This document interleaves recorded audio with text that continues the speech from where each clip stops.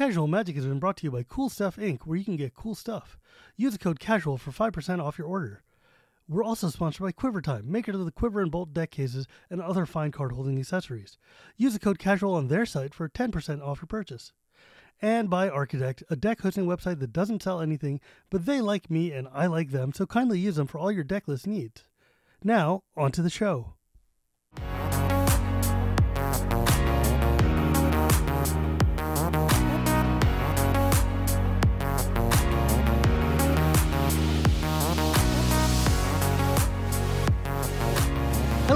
Welcome to Casual Magic, the show where we talk about the fun side of Magic the Gathering. My name is Shivam Bhatt, and Casual Magic is brought to you by Cool Stuff Inc., Archidekt, and our brand new sponsor, Quiver. I'm super excited for all of these. It's really, really cool. I love having sponsors, and they help me bring this show to you. And today we're actually going to be talking about one of the funnest things I've ever done in Magic the Gathering. I brought on my dear friend, senior designer over at Wizards of the Coast, Gavin Verhey, because he did something at Magic Con Philadelphia which will never be repeated. An event that I got to play in twice and it still remains and will probably remain for quite some time. One of the coolest things I've ever done in Magic. Uh, hi, Gavin. How are you? Hello, so good to be back, Shivam, as special recurring guest star, Gavin. Always glad to be here you're one of my favorite people to have on here. People love talk. People love it when we talk, and you always have cool things to say. So I'm I'm very happy to have you back. Yeah, I'm always impressed. Even walking around um, MagicCon Philadelphia, there are people who are like, "Oh, I love your episodes with Shiva," and I'm like, "Oh, well, that's perfect." So when, when you know, literally a day later, you're like, "Do you want to come on the show?" I'm like, "Of course, I want to come on the show. Like, I love coming on the show." You know what was the coolest thing for me? Just there were so many people there wearing my uh, casual magic T-shirt from Coalesce, which you can still get from them, um, and it was wild because like at the last time I was at like Richmond or whatever, it was like mostly my friends who bought my T-shirt and were like, "Yeah, you know, we're we're helping our buddy out." This time there were people I'd never met before, never seen before, and I was like, "This is the coolest thing in the world." I what a great way to Aaron. roll in that natural sponsorship there. You know, that's really good. You know what? They're not even my sponsor anymore. But me, but we Cedric still love the shirt. Still love the shirt. Oh yeah, absolutely. Cedric still sells them, and I'm super excited about it, and it's great. I love Coalesce. They're wonderful. They're so um, good. It was wild though, because like I met your boss Aaron Forsyth at uh, the at the GP, not GP, at the convention, and he was like, I've seen your shirt all over the place, and like half a dozen playmats that I've signed have your signature on them, and I'm like, well, I guess we know who's better now, Forsyth. she even gets around. Your shirt anywhere. it's true. So, aside from the myriad other amazing things about this con, which I'm having an episode with Tappy and uh, Cass on, so we can talk in depth about this show. One of the coolest things ever was I was looking through the schedule and I saw Gavin's unknown event, and I'm like, what the hell is that? What is Gavin doing? That that, and I'm like, if it's Gavin, I need to know because I want to be a part of this because anything you're doing that's that sparse in data has to be amazing. And uh, I was really stunned. And so I like signed up and I went there on Friday. We sit down and there were 200 something of us, right? On Friday, I think. And yeah, it was uh, about, sit, about 200. Yeah. Yeah. We sit down and you're like, all the people on this side of the table, you're Mirran. All the people on that side of the table, you're Phyrexians. And I'm like, all right, Team Mirran, let's go. I can deal with this. And then you handed out booster packs. First off, there was three booster packs of uh, Phyrexia draft boosters, two booster, uh, two mystery boosters, and then one set booster Phyrexia. And I was like, okay, well that's actually that's cool. Let's go with this. I can build a seal deck. And then you were like, wait, but there's more.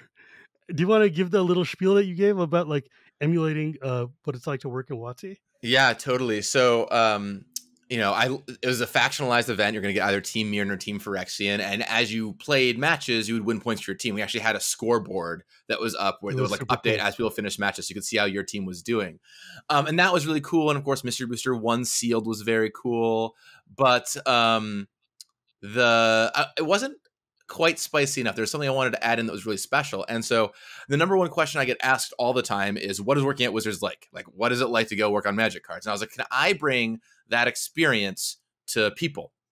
So what what happened is I designed a magic set, uh, and it being 60 cards big. I designed a 60 card magic set. Imagine the, they're kind of like mystery booster playtest cards, uh, like a mini expansion of those. If they were all set on the war for New Phyrexia, right? And there's there's you can hold them up right there, right? And we printed them out at the office. I literally, me and my team literally stickered them on the cards, just like how we do at the office. And then we painstakingly made packs of 10 cards apiece and um, prepared them all for the event. It was actually a little behind the scenes.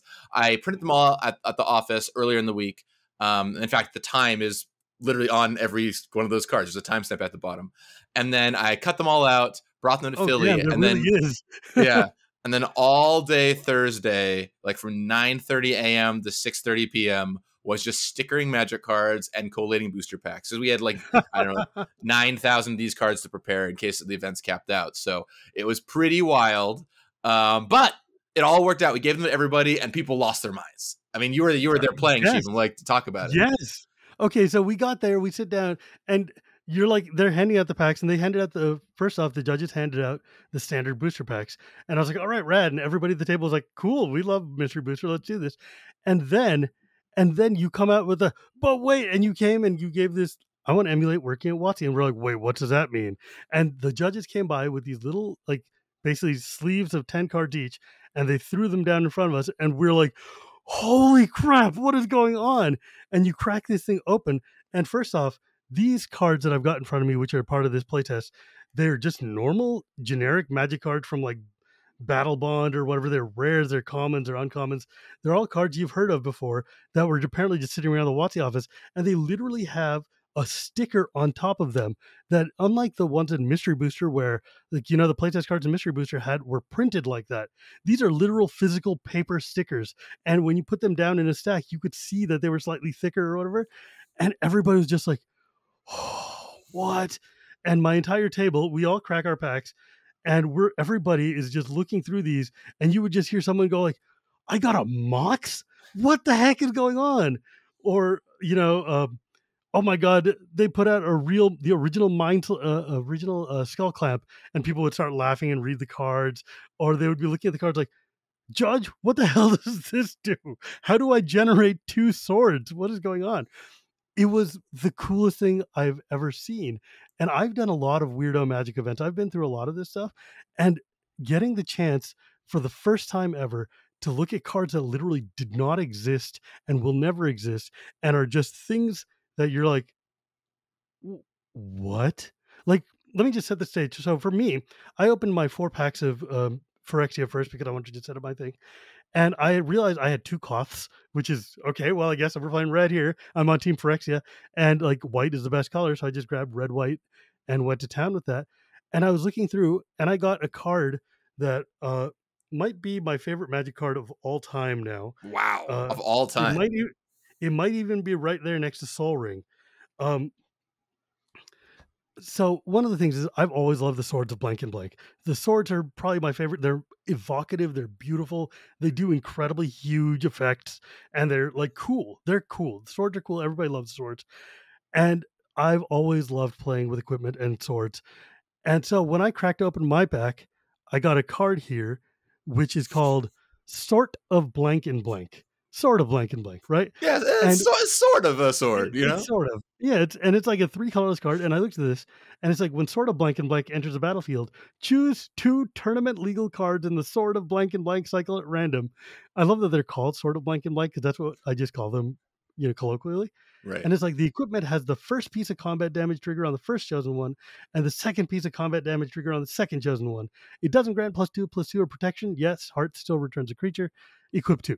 So it's like, okay, it doesn't give you the bonus of the strength, it doesn't give you the protection, but the other text on these swords is still bananagrams. And I was just like, this this is now my favorite piece of equipment of all time. Like this is exactly what I want to do. I just want to randomly generate swords. I'm sad that we don't get Dungeons and Dragons in the list because it would have made dice rolling easier. But um, because then I would have had a full 10. I could have rolled a D10 for either. And I was like, I need to play this. I'm gonna put it in the card. Whatever my set is, we're playing this card. It's gonna be amazing. And when I got to my game, I played it and I was like, I yelled out at the top of my lungs, Gavin, I need you. And you came running over, and I was like, pick a pair of swords for me because I don't want to figure out how to randomize this. And you were like, sort of uh fire. uh, No, you were like sort of light and shadow and sort of fire and ice. And I'm like, all right, sort of light and ice. Let's go. it was awesome. Like later on, I made a bunch of different randomized ways to be able to generate this. But man, it is so much fun when you stick this sword out there and you don't know what's coming. It's the coolest thing in the world. And It- some of the combinations range from like amazing to like very bad, and it was very oh, funny Oh, yeah. to see you know what people got. I had I had one sword was Sword of Fortune Peace, which my opponent was like, yeah, you know the lesser known Tol- Tolstoy novel. And Forge and Peace, by the way, sucked. Not a great combination. And then my last game, I rolled Sword of Fire and Ice, and I was like, ah, true, tre- tested, and it works every time. It was gross, but one of the people I was playing against pulled an actual sword, the from the one from one, and I was like, oh well, they they're going to they're going to beat me because they're protection from red. Whoops. But dude, God, all these cards. Every time somebody would play one, the everybody in the surrounding areas would stop, and we would look and we would try to figure out what's going on. And like one of the other my one of my other favorite cards, and one that did me incredible damage was "Who's that Praetor? Which Everyone's you could favorite not game play. show. You couldn't play it without doing it just exactly like that. You hear that chant going through the hall all the time, and it was amazing because "Who's that Praetor is basically a six mana spell. You cast it, and then you roll it effectively a d6, and you get one of the five modern Praetors or Ebon Praetor from friggin' from, from Forgotten Realm and from Fallen Empires, and it was funny as heck because like it turns out Ebon Praetor is still a five five, and it still hits really hard. So uh, I was able to uh, smash face. I won with an Ebon Praetor and then I had Vorinclex later. And turns Wha- out Klex very good. One of my favorite moments I saw is someone had Elesh Norn Mother of Machines in play, like the the new one, and Mhm. but it, it got like locked down by the pacifism variant in in the set. So they played Who's That Praetor? They've rolled Ebon Praetor and they ended up sacrificing their Elesh Norn to the Ebon Praetor, which is like who who's the real Praetor now? You know? yes, that is. It's like emulating the best part of Commander. Two cards that were never meant to ever see each other suddenly working together. Right, right, right. So, can you? So, how did this come about? How did you come up with such a really cool idea? I was talking to Scott Larrabee, who is uh, one of the people running these shows, obviously on the RC, and I was chatting with him at the uh, at the Pro Tour because I went upstairs to go say hi, and he was like, "Yeah, apparently, like he was like, Rosewater did Unfinity set." like the mega draft at uh, Vegas, and you guys want to do something else like that at every Magic Con. And he says, All right, Gavin, what do you got? And is that effectively the genesis of where this came from? Yeah, so I'll tell you exactly what happened. It's a day in December. Scott, maybe it's November, but regardless, it's late, late in last year. Scott Larrabee was walking over to my desk and he's like, "Here's the deal: Pastimes events and Pastimes runs uh, the events that are Magic Cons. Every event next year, all the Magic Cons next year, they want to have one event that is different each time and that you design and run." Um, and they've specifically asked for you, Gavin, to be the person who does all this, right? Because How um, cool is that? and they're like, "Are you up for it?" And I was like, "Yeah, what? Can you tell me about the event or you know what you want to do?" And there's like, "Ah, "Whatever you want to do. It's up. It's up to you. You you know you have, you have carte blanche within reason to figure it out." And so Within No, I- reason? I yeah, I mean, there's probably some things I couldn't get away with, but I I talked. Uh, so then I set up some calls with pastimes, kind of get an idea of what they were going for, and their big things to me were they're like they wanted something that would be a spectacle that would like get people more than just like sitting down playing as an opponent, make you feel like you're a part of something a little bit larger, right? So that's a bit of theatrics, and then something really special you can only get at the convention. That was all basically all the instruction I was given, and then um, I I was like, okay, I'll think about it a little bit, and playtest cards I came up with pretty quickly. Um, I, I thought it was Mm. just be a fun idea. People love the Mystery Booster playtest cards. I think back to the old like Mark Rosewater Invitationals where he would do that. And Mm. I was like, well, I'll, this here's an idea I have, but man, getting this approved is going to be. I doubt this is going to get approved. And then to my surprise, I emailed like Blake and Aaron, um, and with like my pitch, and I was like, kind of looking like, all right, we'll see what happens. And they're just like, that sounds awesome. Like, go for it, right? And it's one of those ideas that just sounded so cool. They were like, yeah, go for it. You should just go ahead and do it, right? Um, and then, okay, so I had the playtest card component, but I was like, I, need still need something else. I want like the theatrical component. And believe it or not, I was hiking around uh, Guatemala with my of course you were. with my friends uh, Talia Vess and David, and um, I was like, I need to figure out some kind of cool theatrical thing to do here uh, for this event I'm going to run in Vegas or in a um, in Minneapolis, or sorry, the other one, Philadelphia. Was going to run Philadelphia, and I didn't, didn't give them any other details. Which is, well, what, what do you think would be fun for this?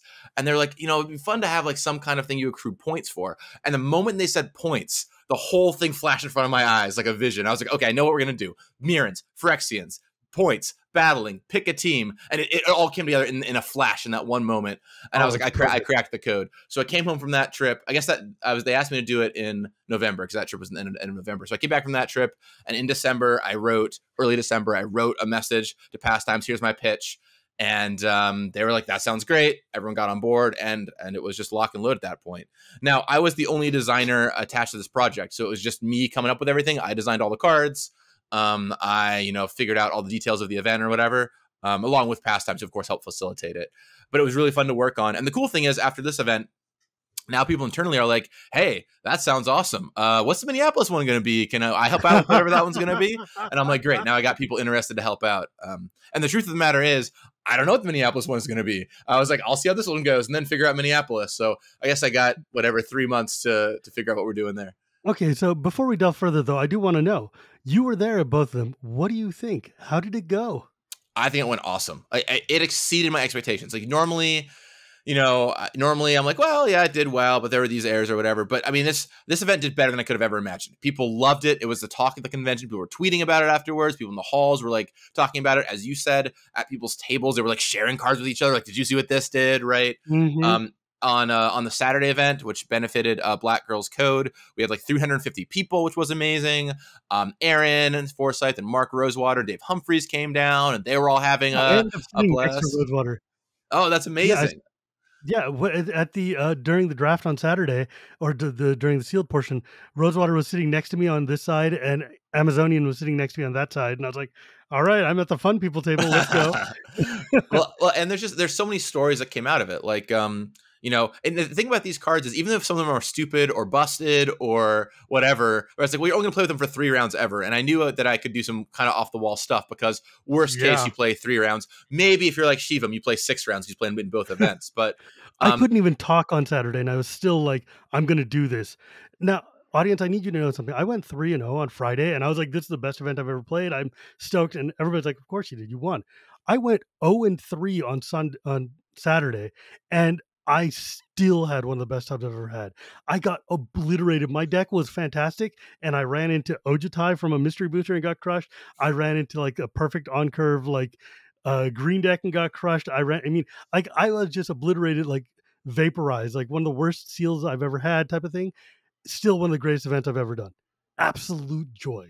People were losing, people were winning, people didn't care, except they were like, no, I didn't get to give the points to my team because everybody was having a good time, but we cared, we were invested. Um, it was on the from the ground floor. It was one of the coolest things I've ever seen. It was the most people having fun. Everybody was having a blast. Everybody was doing redonkulous nonsense, putting combinations of crap together that really never should have happened. I saw Wheeler playing. I saw a bunch of the LRR folk playing. I saw like people were just like, "Yo, can I can I get into that?" Like we saw Rebel playing. We saw all of our dear friends. It was so much fun, Gavin. Like I went and I told literally everybody I could who had a WotC badge. I'm like, so Gavin created an event, which is the best thing I've ever done. You should tell him. And a form of a promotion, wizards. But it was amazing. It was phenomenal. Thank you so much. Oh, it was um, it was so cool, and the cards are delightful, and people are already asking me to make some of them real. So, I mean, you know, it's a bit of a long shot, but who knows? Maybe one or two of them, if people love them enough, will. uh If there's ever another design. mystery booster, I would totally want to see who's that Praetor and sort of board and board and sort of Oh, blank yeah. and blank in the thing. Um, some of them were like really, really funny though. I loved like the um there was a lot of in jokes. Like I loved Leech Medic, which basically puts a copy of leeches into your hand, Right. or um Crux of Mirrodin. Like either destroy all the things that were in old Mirrodin or destroy all the things that were in new Mirrodin. I was like, that's funny. Um, but I want to tell people about one cool thing that happened. So the first game I was playing, I was playing against a person who was new to Magic, who had played started playing in right before the uh, pandemic and then stopped during lockdown. And I was like, why would you sign up for an unknown event? You have no idea. And they're like, well, I thought it was on something. And I was like, oh, okay, well, whatever. We're here. I mean, they were so new that they didn't realize that after I cut your deck, you're not supposed to shuffle it, or that they could mulligan a deck, a hand that only had one land in it. And I was like, okay, well, I'm going to help you out. And we're, you know, I, I tried to help them as much as I could. but I was just swinging with two random, you know, dorks, and I'm doing poison damage, poison damage, poison damage. I had a double striker and a, a single one, and he had the O2 uh, ornithopter that has toxic, and so he's blocking uh, my one one, but not my double striker. I'm like, why are you doing that? You're taking two poison every time. I don't understand. Uh, I was and I got him to six poison, and or no, I got him to yeah, I got him to six poison, and I attack again, and this time he blocks my double striker, and I was like, huh, what happened? He takes a one and goes to seven. He's like, aha, you made it, and I'm like, you made it, you made it, and he starts tapping his lands, and out of nowhere slams down Hidetsugu's Poisonous Rite, and I'm like, what the hell is that? And he's like, target player with seven poison counters loses the game targeting me. And I was like, oh my God, this is it. Moral victory. Everybody at the table, like the, the seats around us, we all cheered. It was amazing. It was like just like, holy crap, you you found a quest, you went for it and you solved it. And you we i mean how do you fault that? That was so cool. It was so cool. Uh, that is a card i saw pulled off only a few times on the weekend but someone targeting himself with it is, is a highlight for sure. It's like look oh, i'm gonna go out like, i'm going out on my own terms you know? And it's very Hidetsugu it's very Kamigawa can we talk a little bit about like yeah because it's funny larry was telling me he's like yeah i saw a bunch of people out standing at the printer stickering cards and i'm like you don't even do that anymore. It's like, no, we have a program that just prints out playtest cards. So like even Wizards employees were like, wow, stickers. That's that's old school. Yeah, I mean the, um, the, truth the truth of the matter is our printers were having trouble the week I wanted to print these, so we just did it old school style, uh, which required a lot more work, but uh, you know it's very novel. Way cooler, way cooler. Um, so can we talk about some of the individual cards? Yeah, absolutely. So there was one of the cards that I saw that caused the most heartache slash heartburn at the game was uh for uh, platinum persecutor yes oh floor platinum persecutor you know this is this is i will read off what it does in a second but this is one to me where it's like this is kind of thing that was fun to put in exactly this event because you have a very stupid game against it one time. You're like, that is memorable. I will tell the story forever, and I hope that never happens again. Right. So now you can go ahead and tell people about it. Yeah, the, that's exactly it. So, Platinum Persecutor is a five-five artifact creature angel demon for five colorless uh, or five generic mana, whatever. And it says flying. Players can't lose the game or win the game. At the beginning of your upkeep, if each player has an empty library, sacrifice Platinum per- uh, Persecutor and you win the game. This is so annoying, Gavin. Right. So the idea is you play it, nobody can win or lose, and then if you deck both players out, you win the game. Oh, can uh, I tell you how my last game ended? Because it did yeah. this card. Yeah, yeah, for sure. Okay, so so I'm sitting there against my opponent. I haven't drawn a land for a million years. I don't know what happened. My deck is just jank. I'm finally getting some speed up. He slams down Platinum Persecutor, and we're just swinging at each other. I'm like, I'm at negative five. He's at like six. Next turn, I was planning on alpha striking and then you know disenchanting that thing somehow and killing it.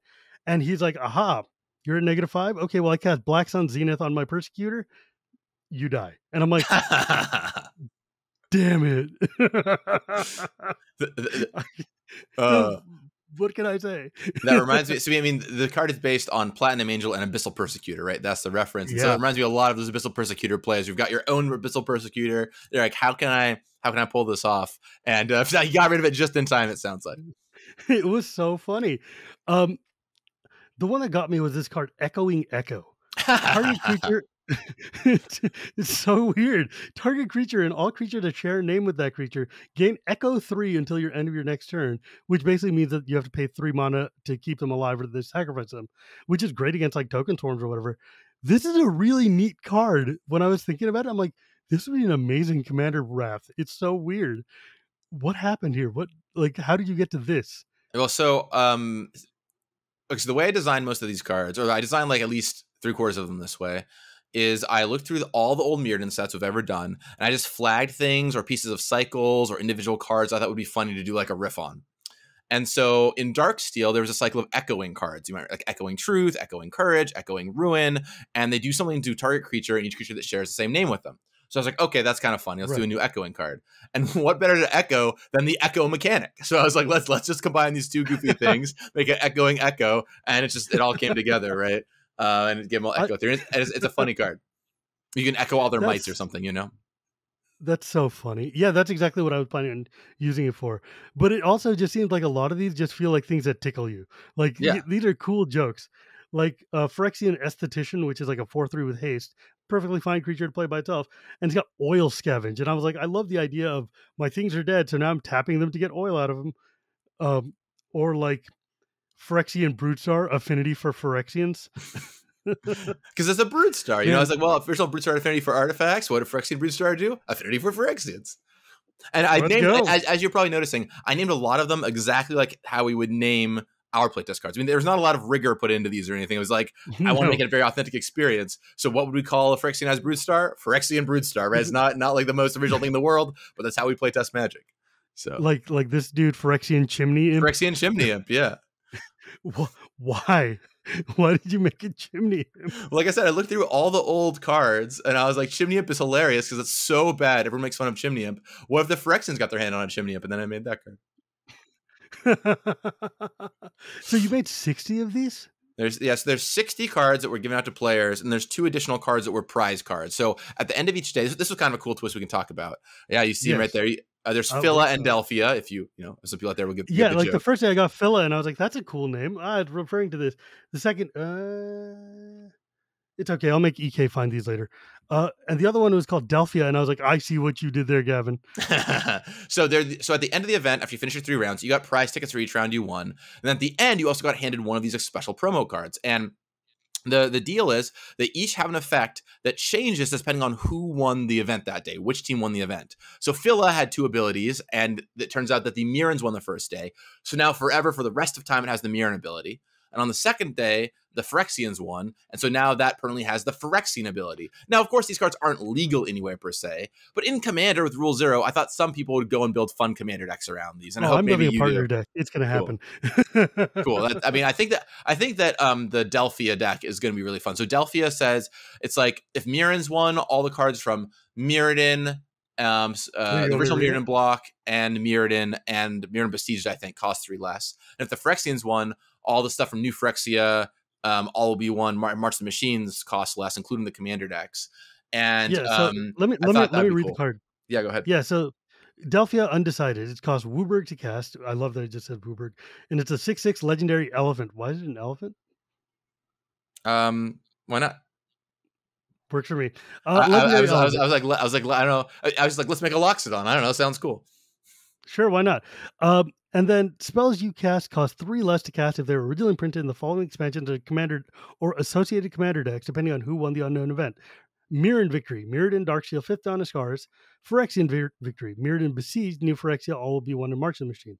So since the Phyrexians won, it's going to be a WUBRG deck that discounts cards from Besieged, Phyrexia, 1, and March of the Machines. And they're associated then commander the decks, other- which will give you a lot of tools. Yeah, there's a lot of them.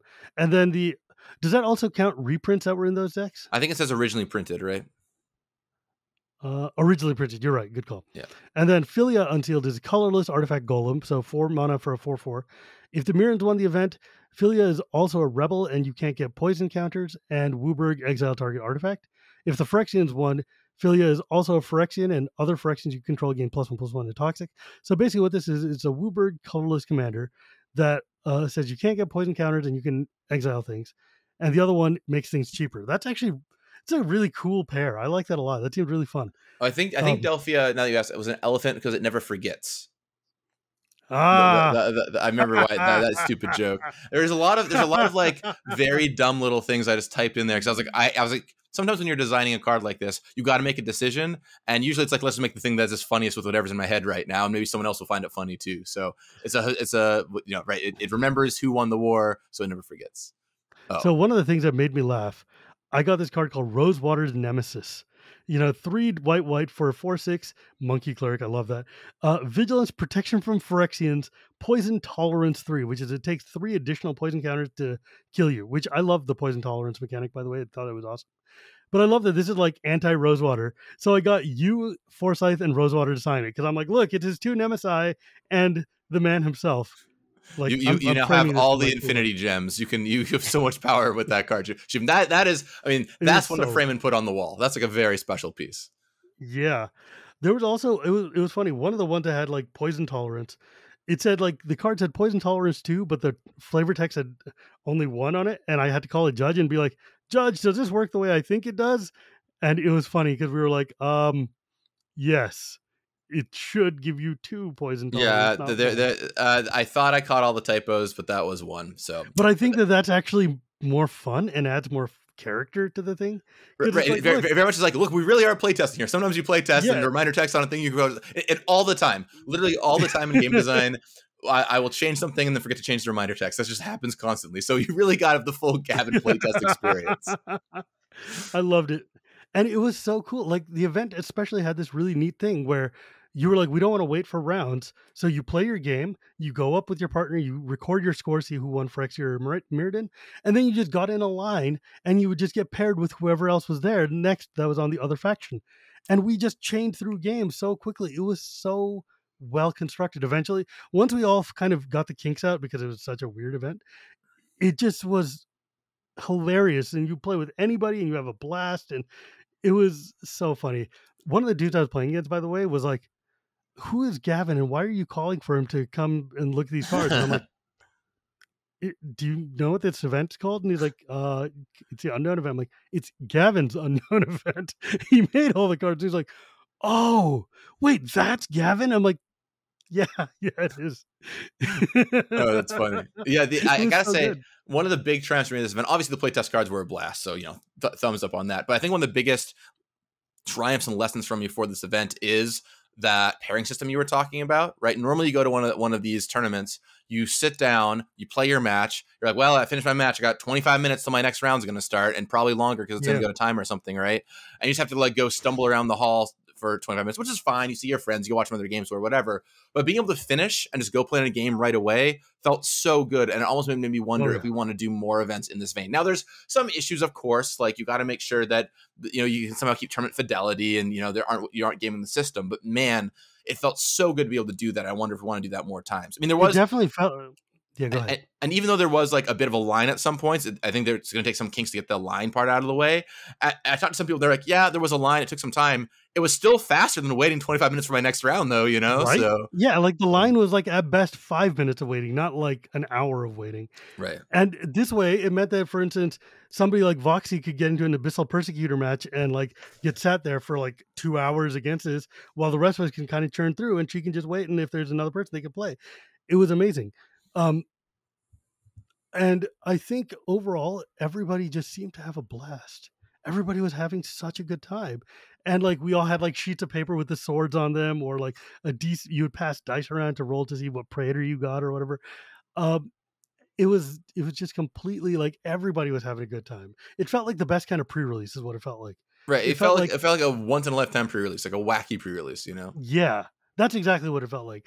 Um, and I know you were just running around and bouncing around and answering questions. So, what did it feel like to see like 250 people or whatever playing your game and enjoying themselves like this?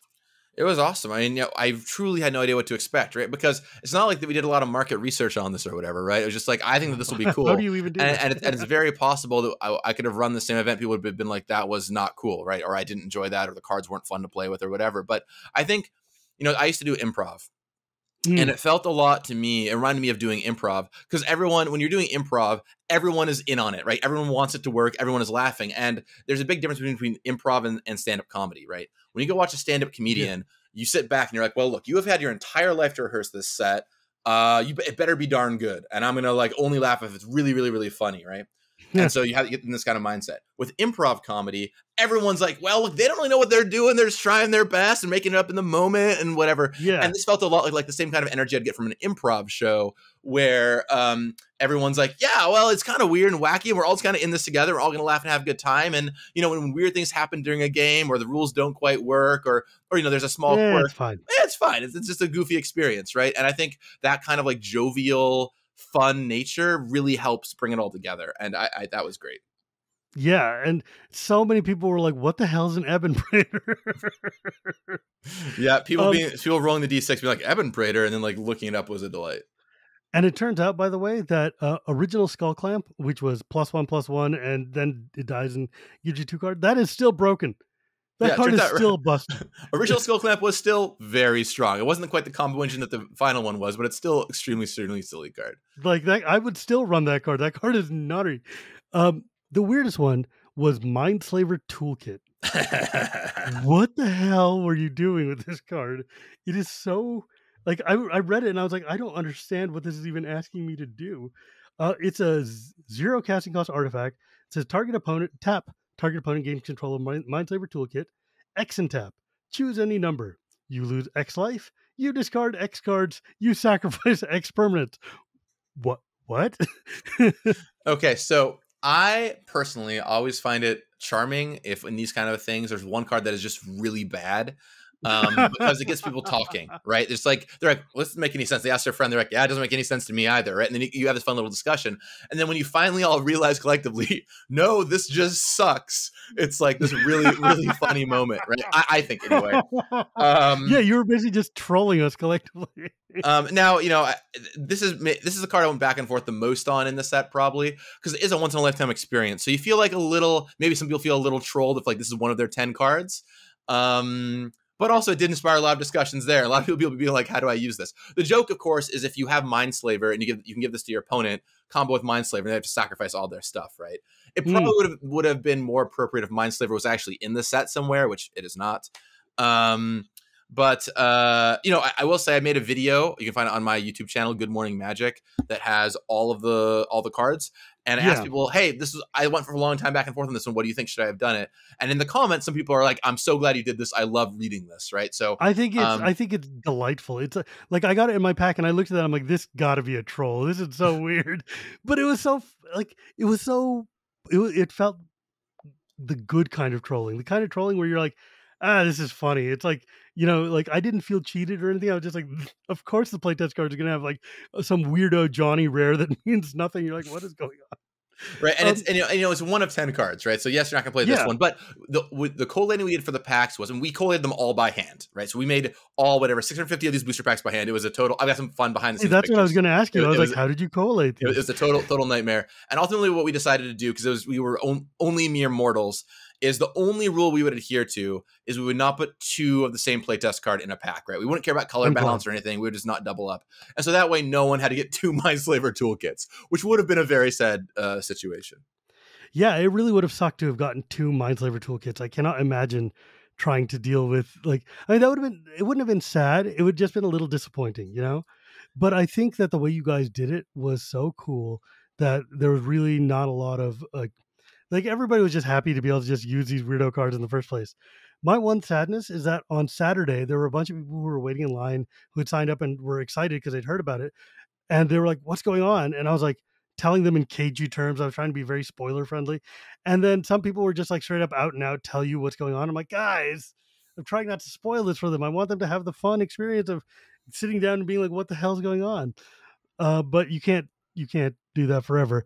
And still the joy of opening these cards and seeing like it's weird one thing to have somebody tell you you get weirdo cards and another thing to open up like naturalize a phyresis and be like, wait, what does that mean? yeah, I mean, it's, uh, like- it, it was it's interesting. I, I thought about this a bunch, both before and afterwards. Is it better to have one event or two events? Because with one event, it's it's the first surprise for everybody, right? They see it all for the first time. There's no chance of spoilers of like finding out what happened the day before. But on the second hand, I think for this one, I needed the first event to get people excited for the second event, right? It's like uh, the word of mouth is like, hey, you got to go check this thing out. I'm not gonna tell you what it is, but you really got to go see it. You see like maybe a Reddit post with a playtest card, like, what the heck is that? I got to go see this. So at least for the Yeah. first, I felt like I needed to. Um, I think we'll see if there's one or two of them, but I think I think two is the right number, not just because it's the surprise effect or whatever, but it's also once you hear about it, knowing that you can't go do it feels really bad. And so being able to sign up for it and being able to do it, even if you have the surprise spoiled, being able to play in a once in a lifetime thing is totally worth it. And I think it's in the best interest of everybody to maximize the amount of people who get the chance to like this is such a cool experience and I want everybody who gets a chance to try to do it. Yeah, it, it would be, was it would be sad not to. it was magical, and I like I said, I can't wait to see what Minneapolis has in store. I truly myself don't even know yet, so I'll probably yeah, like you're gonna have to sit there and go like, how do I top this? I've got a few ideas, but uh, yeah, you know, come ask me in a few months, and I'll have a better idea. but so, you're not, um, you're still not gonna know what it is. What it is? You're gonna sign up. You're gonna, you know, enter, and at that moment, I will announce what's going on. It should be a blast. Yeah. So let's uh, kind of bring this to a little bit of a, a close here and talk about the event in general. What do you think? How do you think Philly went?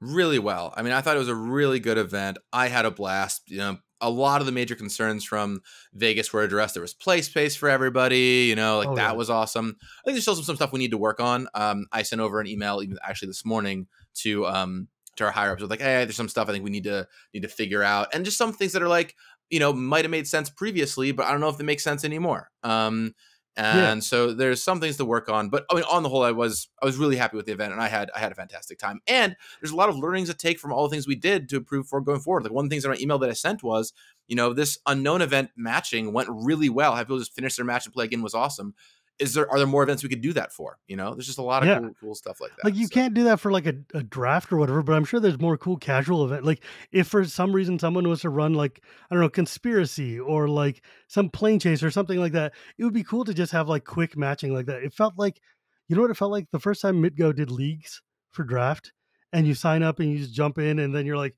instead of watching like streamers double queuing while they're waiting for the next one, it's just like, all right, we're just jumping into the next draft. Let's go. Right people um, don't like wait times, right? The, the, the, it's just way more fun to go play Magic right away, right? Yeah, we're not here to watch you not play Magic. We're here to play Magic.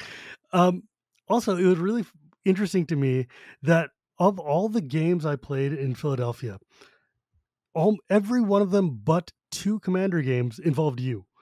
Six of them were your unknown event, and then there was the chaos draft that we ran, and then there was the cube we did on Thursday. That's so true. literally That's everything true. except for the two commander games I played were Gavin Day. So it was. I um I personally do not get to play. You know, everyone always asks me like all weekend long. They're like, "Oh man, you must be playing so much Magic at these things," and I'm like, "Absolutely not. I do not have like. I am too busy running everything and trying to do a bunch of stuff to actually play a bunch of Magic at them." But I'm so grateful that I got to play a little bit of Magic and I got to yeah play with you a tiny bit and then also help run my event, which felt like I was playing Magic through the lens of other people, you know, in a lot of ways. And it is funny if you've never played against Gavin in a game of Magic, it's funny as heck because he is a lovable, kind guy, one of my dearest friends. I love to talk to him all the time. We're smiling, we're laughing. He sits down to Magic, it's his murder face, and it's just like you're going to die. This is going to be cutthroat. There's no quarter given. well, you know, especially when you play one on one, like in Commander, it's like you know I'll be Jovi or whatever. But people always say, and oh, yeah. I, I, can't even control it. It's like werewolf Gavin mode or something. It's like when I oh, sit oh, down yeah. play a one on one game, like I'm having fun. I'll chat with you, ask you where you're from or whatever. And then like we're one turn in, and it's like my eyes change, and I'm like, oh yeah, to, to destroy you. I just go back into uh, my competitive days because you know a lot of people oh, don't know this, but I used to play on the on the pro tour back in the day. Right? It was yeah, it was a very different world from what I do now. So no, it's funny because suddenly the way you hold your car- cards changes. The way you play your cards suddenly becomes a Pro Tour snap, and suddenly you get your eyes get hooded, and you're like, "Yeah, man, sucks to be you. You should attack, huh? Too bad I lightning bolted. Guess that sucks for you." And I'm like, "Oh damn, Gavin's gonna kill me." And of course you did. You slaughtered me twice with the stupid control magic you splashed. Anyways, that being notwithstanding, it was an absolutely delightful weekend. I had the best time. This is one of the coolest events I've ever been to and um your your event was a big part of why that was. But you're right though man like i realized this time around that folks who get to a certain echelon of popularity you we don't get to experience the con the way normal people do. Like we can't just like back in the day, I would have sat down and played like 30 commander games and met people and hung out with my friends, whatever. This time around, every four steps, someone would be like, Hey Shivam, it's great to see you. Hey, can you sign this, take a picture, whatever? And I'm like, that's awesome. Like even during our game, even during our own draft that we were playing, someone came up to me and asked me to draw them a soldier token. And I was like, Of course, I happily, you know, it's like I'm here because the fans let me do this. But that also means that folks like you and me don't get to play games with people because we can't. I, it, it's disrespectful for me to sit down to these three other people that we're playing commander with if there's just going to be a constant stream of people coming to ask for our signatures or time or conversation or photos and i was like you know what i would rather just talk to people and you shake hands sign playmats whatever you want to do and leave everybody feeling good about it rather than having you sit down with me and then just feel bad that i had to keep directing my focus elsewhere yeah, for me, I always feel like I'm there to help enhance the show, right? And whatever I'm going to yeah. do that is going to make the show the best it could possibly be, I want to help out. So for a lot of people, it's just you know talking and walking the floor and signing cards. And I mean, I love playing Magic, and if I wanted to do, I could probably squirrel away for some of that. But talking to people is how my time is best spent at these things. So I want to talk to as many people as possible.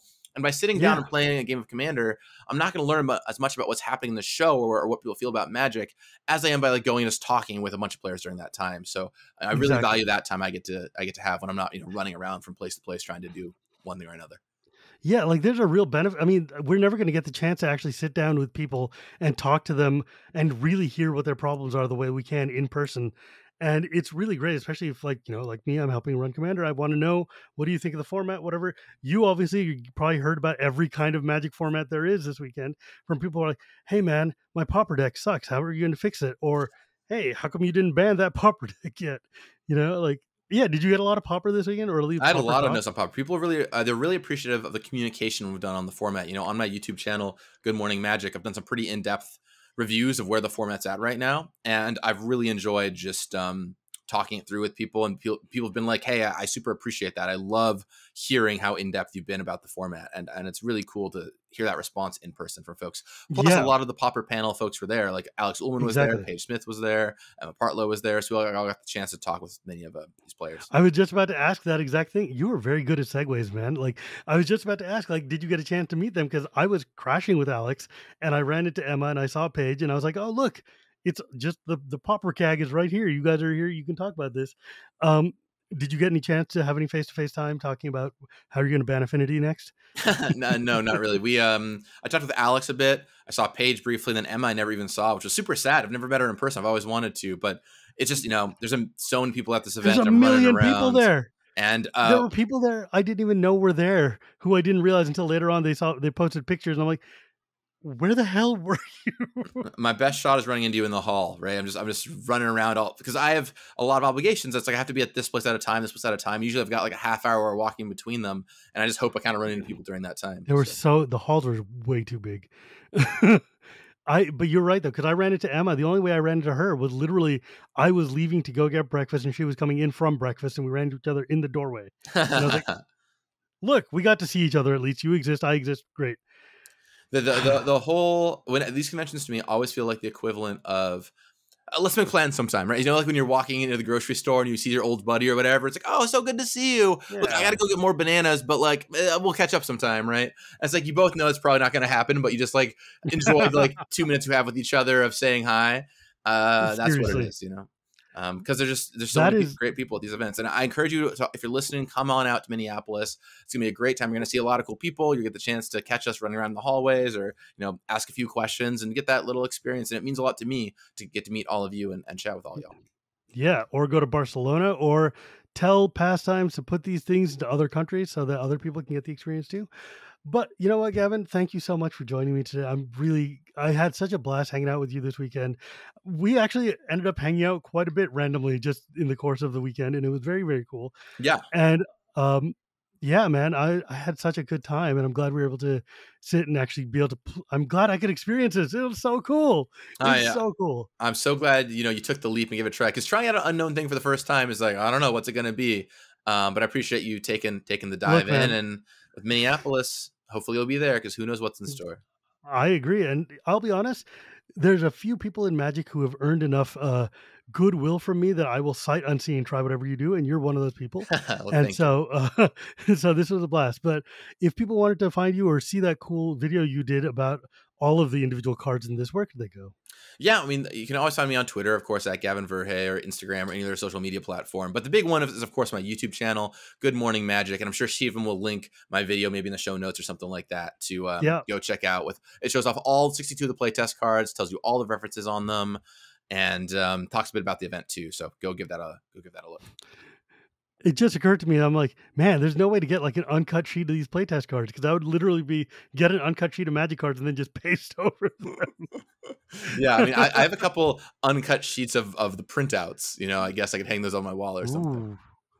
Ooh. Ooh, that would be really neat. Hmm.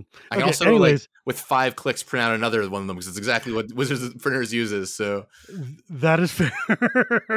not that I'm going to, I would not do that. yeah, I know, but that's also I'm like, oh yeah, you could literally just print, print Right. more. But anyways, my friend, uh, as always, you can find me at Ghirapuri Gears. You can find this podcast anywhere podcasts are sold, or at Cool Stuff Inc. on Tuesdays, and now simultaneously on Tuesdays. YouTube. Me and EK have started with the past handful of episodes trying to do a day and date release with the YouTube video and the MP3 podcast. Please let me know what you think. I'm really eager to see if this enhances your experience with the show or if you guys prefer it to be staggered, whatever. I would love to know. Um, and as always, my friends, it is not magic without the gathering, and we will see you next time.